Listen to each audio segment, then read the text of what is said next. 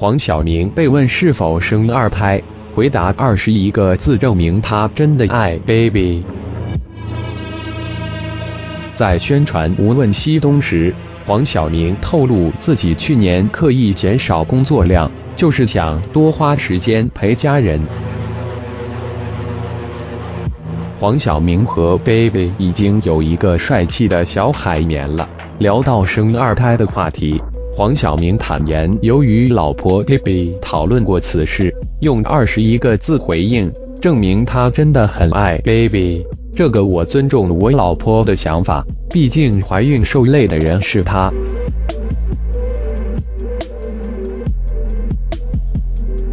但他透露想要再生女儿。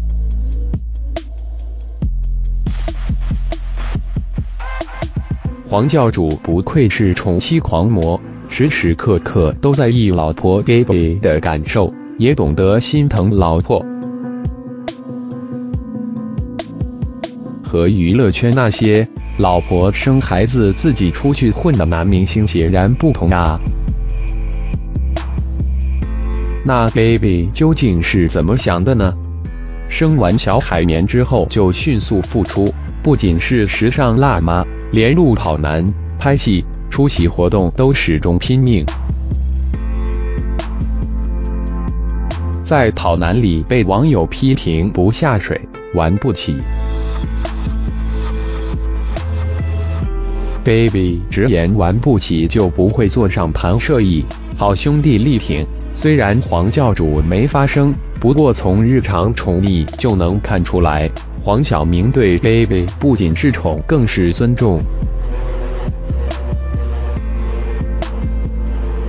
其实 baby 早就回答过这个问题，人生还有漫漫长路，当然希望还有一个孩子，不过还要再等几年。看来两人对二胎还是有打算，也想给小海绵添一个玩伴。但二胎计划还是急不来的，也难怪网友为他们操心了。老公宠爱，婆婆亲和，儿子又是全民小男神，不得不说，baby 确实幸福。参考来源。